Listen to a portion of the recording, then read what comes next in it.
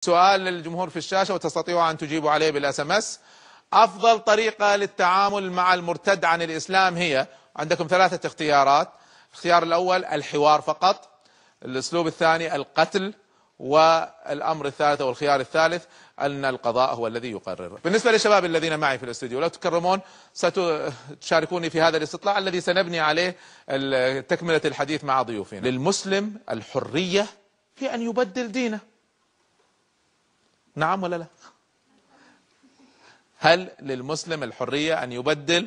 والنتيجة جاءت كالتالي 24% من الشباب قالوا نعم من حقه أن يبدل دينه و76% من الشباب قالوا لا.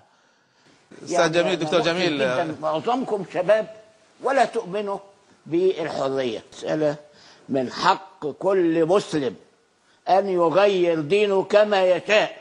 ولا يمكن لأي قوة أن تقف في هذا لأن هذه حرية ضمير.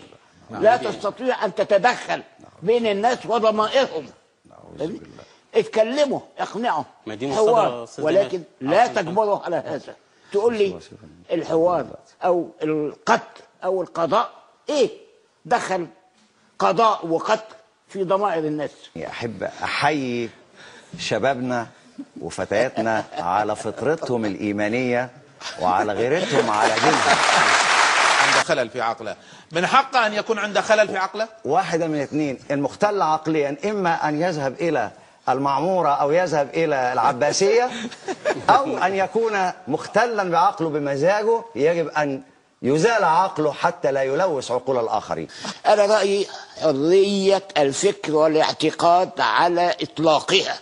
لأن حرية الفكر دي في حرية المعارضة السياسية اللي عملت الديمقراطية وعملت وأزالت الملوك والاستبداد.